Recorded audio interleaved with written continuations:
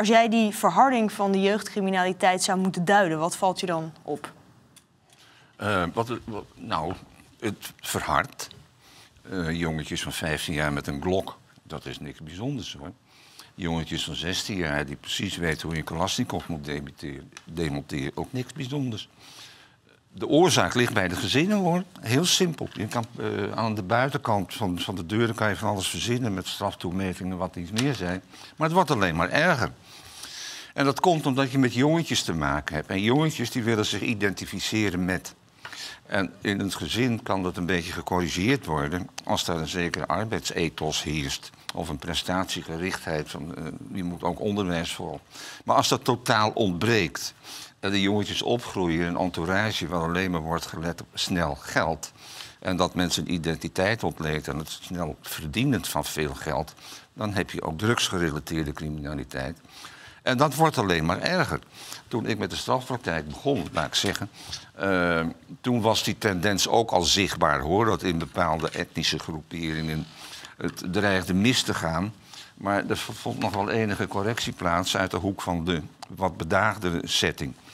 Maar die wordt helemaal weggevaagd. Dat morele kader dat verkruimelt razendsnel. En weet u hoe dat komt?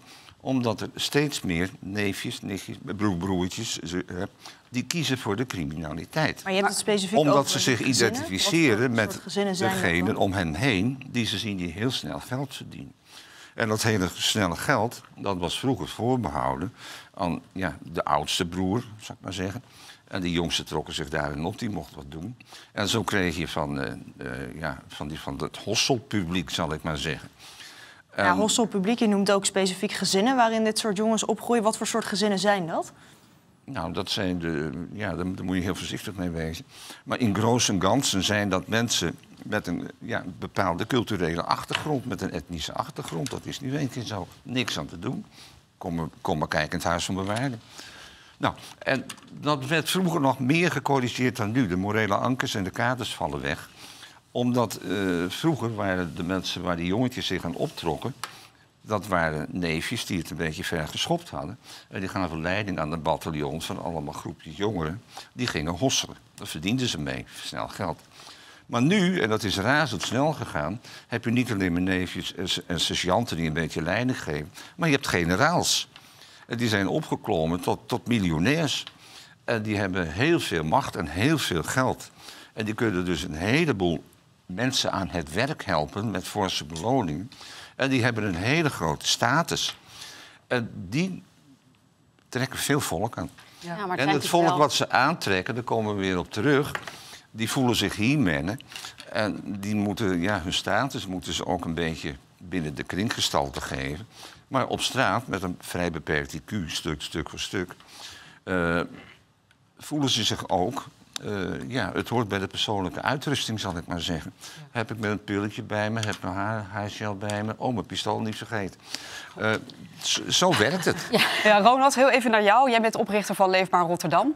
Natuurlijk een stad waar dit veelvuldig uh, gebeurt. Zie jij uh, onder jongeren dat het, dat het verhardt, het wapengeweld, ja, als je het vergelijkt met vroeger? Het verhardt, ja, ik kan het vergelijken omdat ik uh, 32 jaar docent ben geweest in het centrum in het westen van Rotterdam. VWO, HAVO, MAVO-school. En ik heb toen ook al meegemaakt dat een collega met een pistool werd bedreigd. Maar wat je ook ziet, en wat meneer Heerdema zei, is vooral aan de criminaliteit gelinkt uh, geweld. Wat je ook ziet, groepen onderling ruzie krijgen. In mijn school zag ik langzaam maar zeker dat de Turken apart gingen staan. Die dan weer ruzie hadden met Koerden en met uh, onderling. Dat uh, Berbers en Arabisch uh, Marokkanen het met elkaar aan de stok kregen. Dat, ik heb zelfs die ellende ooit meegemaakt met dat toen Joegoslavië uiteenviel. Er zijn dus gewoon ook groepen op straat die vanwege hun etnische achtergrond een hekel aan elkaar hebben. Ja. En die, dat, wordt, dat mag je op een of andere manier niet zeggen, maar zo is het. Ja. En er is nog een taboe.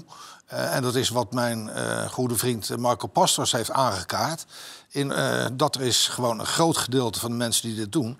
die zijn verstandelijk beperkt. En die hebben een IQ dan tussen de 50 en 90. Dus daar zit een ander probleem naast. En dan is dat nog een keer, wat, wat, wat, wat Hedema ook zei, die ouders. Wat vermoeden ben je als je je kind met zo'n mes op straat laat gaan? Ja. Dat moet je toch zien. Denk je dat die ouders dat überhaupt doorhebben? Dus ook even dat voorval vorige week. Hè? Dus nogmaals, iemand van 22 op klaarlichte dag neergemaaid. Denk je dat die ouders zoiets horen en denken... oh, dat verbaast me, of zouden die op de hoogte zijn? Ik denk dat ze niet op de hoogte zijn. En ik ken, weet ook nog dat ze soms niet op de hoogte zo doen. Hè? De kop in het zand steken. Dus ook gewoon bang voor hun eigen kinderen zijn. Ja. Eh, Dus dat is een, een andere reden. Maar ik vind dus dat die ouders, nogmaals, gebeurt zoiets. Er komt zo'n jongen met zo'n mes uit zijn huis. Dan moeten zijn ouders of zijn moeder daarop aangesproken worden. Ja.